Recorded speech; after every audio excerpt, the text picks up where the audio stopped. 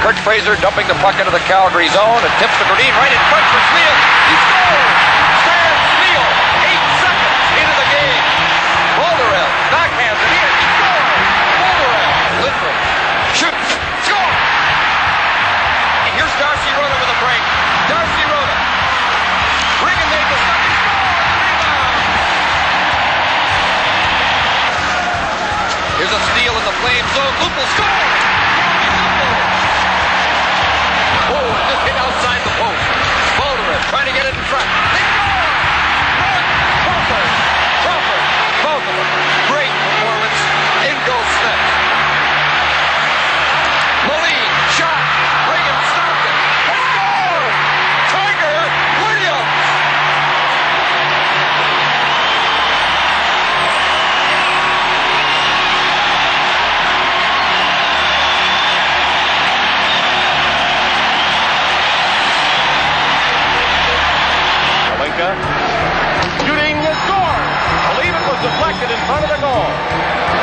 Up the boards to Lupul. Who puts some zip in the Canucks attack. Good left wing pass. Williams shot scores.